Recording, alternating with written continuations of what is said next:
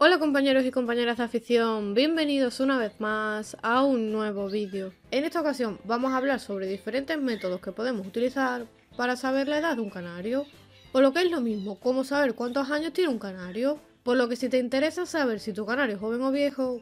coge bolis y papel, que empezamos. Para saber cuántos años tiene un canario, podemos emplear diferentes métodos, siendo unos más fiables que otros y más fáciles de identificar en función de la experiencia del criador. El primer método y más simple de todos, puesto que no debería haber ningún problema, siempre y cuando tratemos con gente honesta, sería observando la anilla del canario. La mayoría de criadores, por lo general, a partir de los 6 o 7 días de vida del canario, solemos colocarle una anilla en una de sus patas de manera indiferente. Algunos criadores se la colocan en la pata izquierda y otros en la derecha, por lo que es probable que os encontréis alguna vez a canarios anillados en la pata izquierda y a otros en la derecha, y si os preguntáis el motivo, pues que sepáis que simplemente es por gusto o comodidades del criador. Las anillas a su vez las podemos encontrar de varios tipos. Por un lado, anillas abiertas, que se pueden poner y quitar en cualquier momento sin causar ningún daño al ejemplar, y que simplemente nos indican alguna marca que ha hecho el criador, ya que por ejemplo se suelen utilizar para identificar a los canarios que son hermanos entre sí, o para distinguir cuáles son machos y cuáles son hembras. Y por otro lado también existen anillas cerradas, las cuales a su vez se pueden clasificar en dos tipos.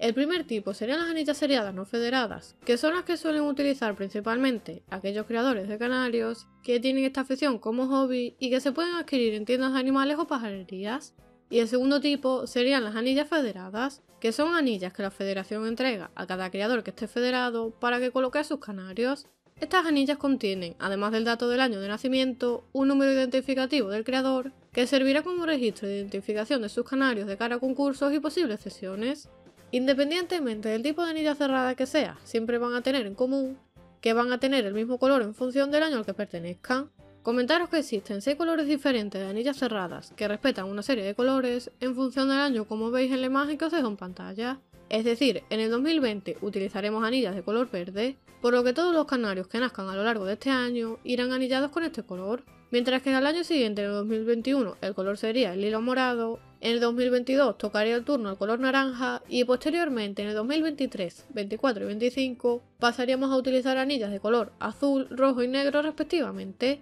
hasta volver de nuevo en 2026 a anillas de color verde y así sucesivamente, siempre respetando el orden y la secuencia que veis en el esquema. Por lo que si vuestro canario tiene una anilla cerrada de cualquiera de estos colores, teniendo en cuenta esta secuencia, podéis saber perfectamente en qué año ha nacido vuestro canario y de esta manera calcular qué edad tiene. No obstante, debéis tener en cuenta que las anillas tienen diferentes calibres, es decir, tienen un diámetro más grande o más pequeño en función de la especie a la que vayan a ser destinadas, por lo que no es lo mismo una anilla de periquitos que una de canarios. Ambas serán del mismo color porque corresponden al mismo año, pero el diámetro es totalmente diferente por lo que tenéis también esto en cuenta y aseguraros de que vuestro canario tiene una anilla reglamentaria, que por lo general suele ser de un calibre de 2,5 en el caso de canarios de talla pequeña como pañuelitos, o de 3 milímetros en el caso de canarios blancos recesivos, amarillos lipocromos y demás. ¿Qué quiero decir con esto? Pues que no os guiéis únicamente por el color de la anilla, sino que debéis identificar también que la anilla cerrada que tiene vuestro canario es del diámetro adecuado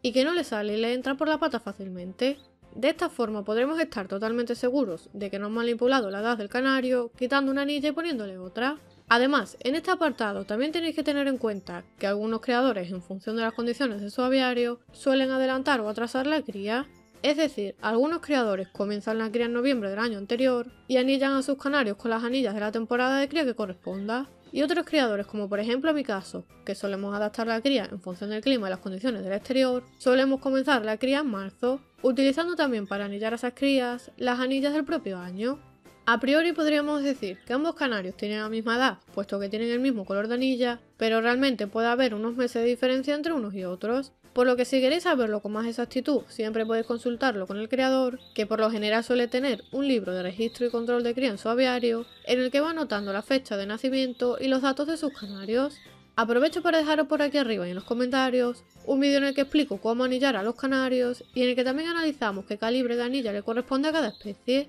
por lo que si os interesa ya sabéis, al final del vídeo bajad y en la caja de comentarios tendréis el enlace. Por otro lado, en el caso de que vuestro canario por algún motivo no esté anillado, podéis emplear diferentes métodos orientativos para haceros una idea aproximada de la edad de vuestro canario, y digo aproximada porque es difícil conocerlo y saberlo al 100%.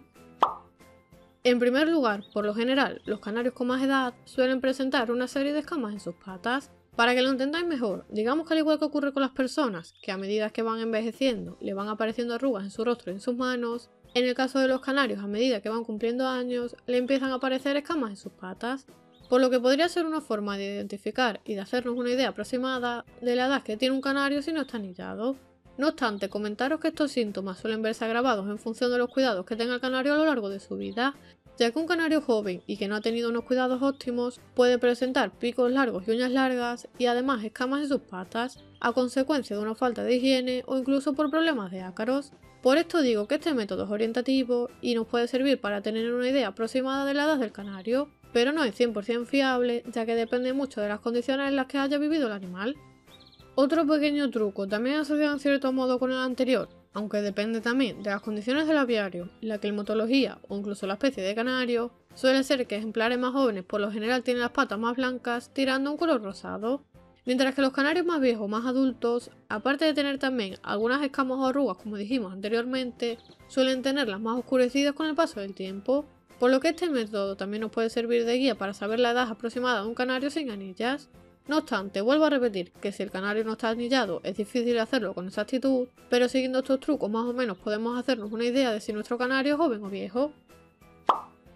Otro aspecto que podemos tener también en cuenta para hacernos una idea aproximada de la edad del pájaro, aunque este método es algo radical, puesto que nos va a servir para irnos de un extremo a otro, es decir, para saber si es muy joven o para saber si es muy adulto, pero que junto con los otros métodos también nos puede servir, es analizar y observar su comportamiento. Por términos generales, un canario joven y sano va a ser siempre más ágil y va a estar en constante movimiento y ejercicio, por lo que durante todo el día permanecerá mucho más activo, realizando vuelos de un lado para otro y moviéndose por todas sus aulas. Mientras que un canario con una edad muy avanzada suele preferir más la tranquilidad y pasará mucho más tiempo sobre los posaderos de las aulas, se ejercitará pero no será tan ágil como un canario joven y también a la hora de volar de un lado para otro, pues normalmente se casará más rápido con uno joven y que esté ejercitado, al igual que ocurre con las personas. No obstante, este tipo de comportamiento no lo debéis confundir con el de un pájaro enfermo. Más adelante, si queréis os explico una serie de trucos para saber cuándo un pájaro está enfermo, o mejor dicho, cuáles son los síntomas de un canario enfermo, para que podáis detectarlo a tiempo y curar y tomar las medidas adecuadas en el aviario.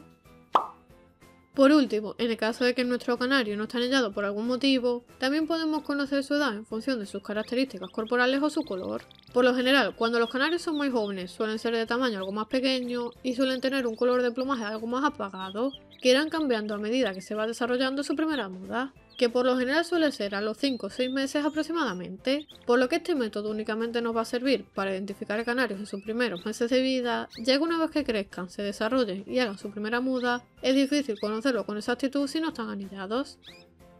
Espero que este vídeo que tanto me habéis pedido últimamente os haya servido y os aclare estas dudas. Si es así, ya sabes, déjame tu like y compártelo con tus amigos para que también les pueda servir.